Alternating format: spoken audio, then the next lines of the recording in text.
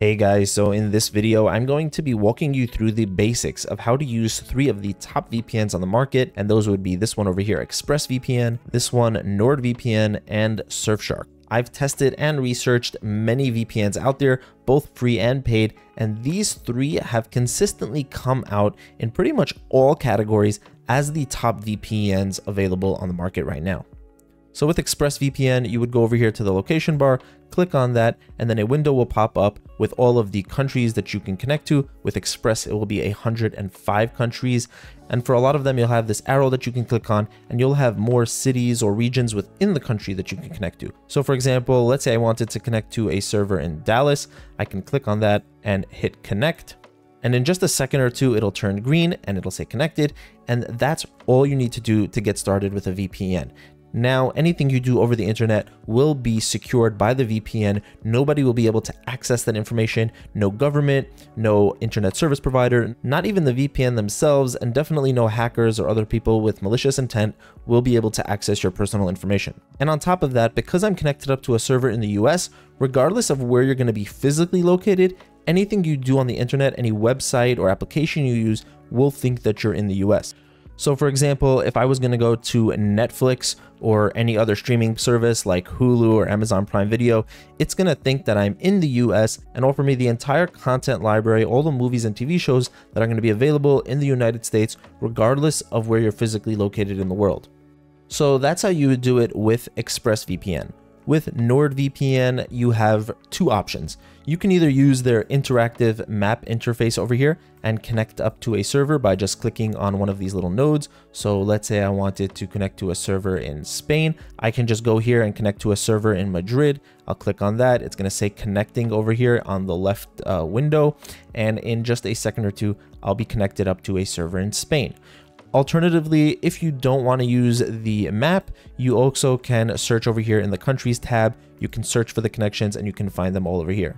And with Surfshark, it's also going to be more similar to ExpressVPN. You're going to have over here in the left side your list of countries, and you can also search for them over here.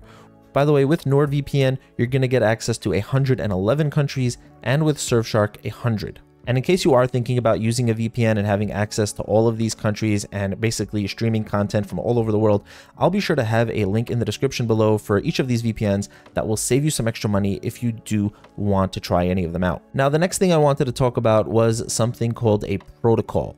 And in ExpressVPN, we can find that by going to the menu over here, going into the options and clicking on the protocol tab. And what a VPN is, it's basically like the messenger service, the connection between your computer and the VPN server. And just like in real life, some delivery services are going to be faster than others, and some may only be available in different parts of the world, the same thing is going to be true with a protocol. So with ExpressVPN, you're going to have two main options. Now, OpenVPN is older and it's been around longer, so it's going to be available in more parts of the world and across more servers, whereas Lightway is the newer one. It was built by ExpressVPN themselves, and it's going to be faster, but it may not be available in as many places. I personally always have Lightway UDP selected because it's the fastest option. If you're not sure, you can always click automatic and ExpressVPN will choose the best one for you. In NordVPN, you can find the protocol by going over to this gear icon, the settings, going to your connection, and the first option here is VPN protocol. Again, you're either going to be able to choose OpenVPN, NordLynx, which is NordVPN's recommended protocol. It is the fastest one of these options right here. And again, you're also going to have the automatic option. In Surfshark, you can find the protocol by going to the settings, going to VPN settings, scrolling down, and you're going to have protocol. And again, same story, either OpenVPN or WireGuard, which is the OpenVPN alternative that Surfshark uses, and this will be the fastest one. And again, you also have the automatic option. And lastly, I wanted to talk about two of the main features that you're going to find on most VPNs and in all three of these. So in ExpressVPN, again, you'll find this in the options menu in the general tab. And you're going to have two features right here. One is called network lock. It's also called a kill switch by a lot of other VPNs. This is going to disconnect your internet if the VPN ever stops working. So you're going to want to use this if you're connected up to a network, which may not be very safe. It may be vulnerable.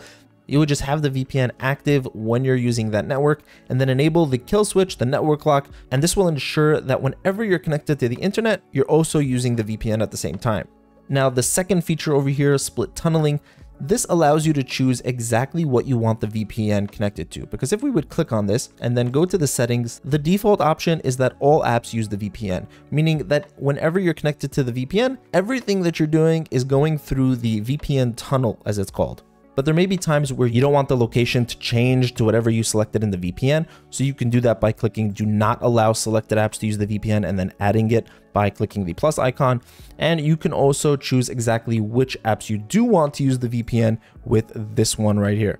In NordVPN, again, we go to the settings, and then you're gonna have both of these features right here, kill switch and split tunneling. With NordVPN, they actually have a nice little feature where you can modify the kill switch to only quit specific apps. It's kind of like a cross between the kill switch and split tunneling.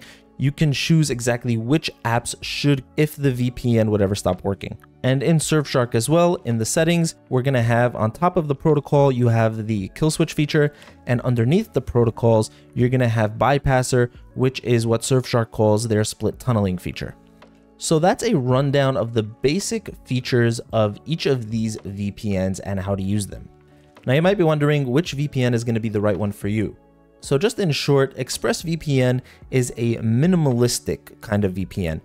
This is for somebody who wants a really powerful VPN, but doesn't need a lot of the features or bells and whistles that you're going to find in a lot of the other applications. With ExpressVPN, a lot of the technology is going on behind the scenes, and on the surface, it's just a very simple and intuitive VPN. In my opinion, Express also has the best reputation when it comes to privacy and security because they've done the most third-party audits by having outside companies come in and check their systems and ensure that they really are not keeping any personal information on their own servers. Now, if you are somebody who's like, yeah, give me all the features, all the bells and whistles, then I would definitely recommend NordVPN to you. This VPN has just a ton going on. You have specialty servers where you have different options, different kinds of servers. Just an example, Double VPN will connect you up to two different servers before getting you over to the internet, giving you an added layer of security. They also have an add-on called Threat Protection Pro. This is like a mini antivirus, and this has also been tested and reviewed by outside companies and scored very well. So if you're somebody who wants to get the most out of what a VPN can do, you want to really push it to the limit, the NordVPN might be a really good option to look into. And lastly, Surfshark is what I would call the best budget or best value VPN.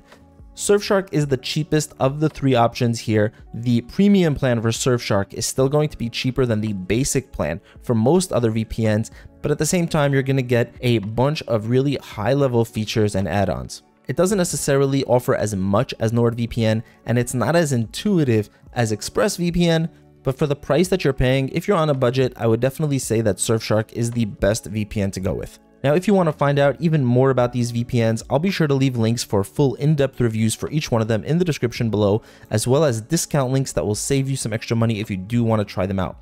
Thank you so much for watching. If you have any questions, feel free to leave a comment. I'll try to get back to you as soon as I can. Have an amazing day, and I'll see you in the next one.